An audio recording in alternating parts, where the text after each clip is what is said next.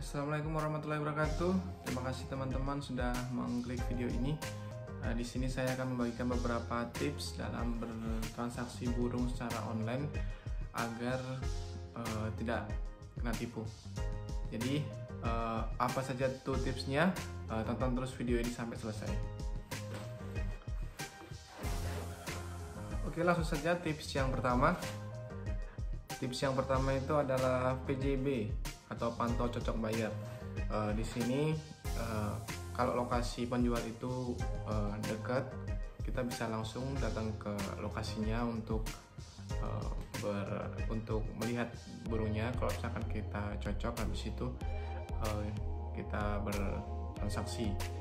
Nah, ini biasanya dilakukan apabila uh, penjual dan pembeli itu tempatnya saling um, berdekatan Nah, itu tadi untuk tips yang pertama yaitu PCB pantau cocok dan pantau cocok bayar. Oke, lanjut tips yang kedua. Tips yang kedua ini saya ambil adalah uh, COD, cash on delivery.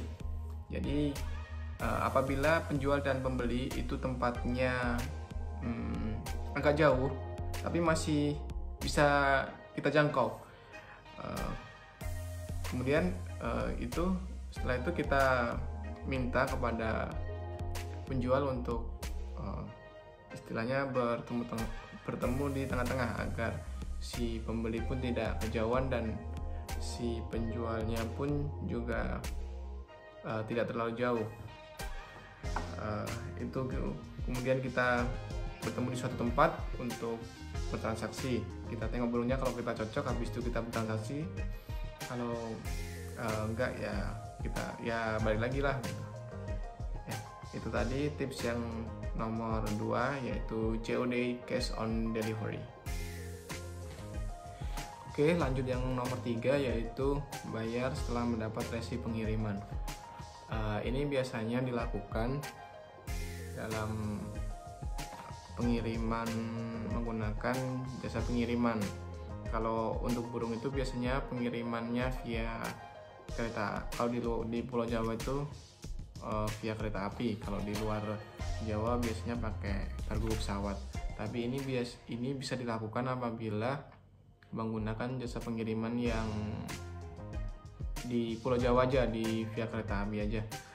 Uh, jadi bayar setelah mendapat jasa pengiriman ini itu artinya uh, kita minta kepada penjual burung untuk mengirimkan burungnya ke jasa pengiriman.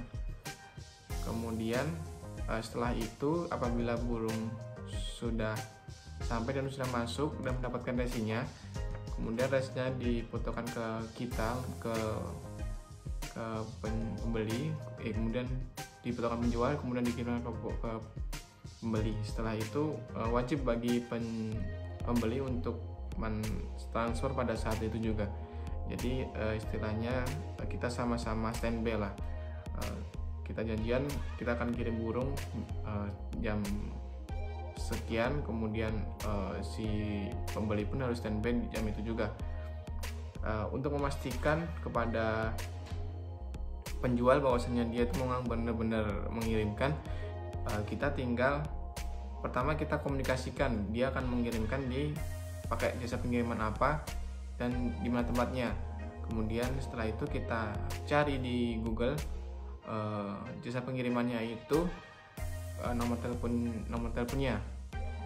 Setelah itu uh, untuk memastikan resi itu benar, kita telepon ke jasa pengirimannya. Kalau konfirmasi itu benar, kita baru transfer.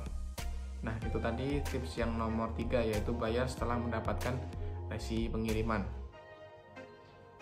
Kemudian yang nomor 4 itu menggunakan marketplace. Uh, sekarang sudah banyak marketplace di di Indonesia yang bisa dimanfaatkan untuk bertransaksi jual beli online. Uh, untuk bertransaksi burung kita bisa untuk menggunakannya. Artinya nanti uh, kita transfer ke marketplace tersebut setelah kita transfer kemudian burung dikirim setelah burung diterima baru uh, di tempat markup yang di kita konfirmasi di tempat markup situ. Terus setelah itu baru uang diterima kepada penjual. Itu tadi tips yang nomor 4 kemudian uh, lanjut yang terakhir sekali. Tips nomor 5 sekaligus yang terakhir yaitu menggunakan jasa Regber atau yang disebut dengan uh, rekening bersama uh, jasa Regber ini biasanya banyak terdapat di grup-grup uh, grup-grup jual beli online di Facebook. Kita bisa menggunakannya uh, pastinya yang terpercaya. Jasa Regber ini biasanya nanti uh, penjual akan menghubungkan kita ke jasa Regber kemudian si Regber akan membuat grup yaitu di di mana itu ada penjual pembeli dan orang ketiga atau si Regber tersebut.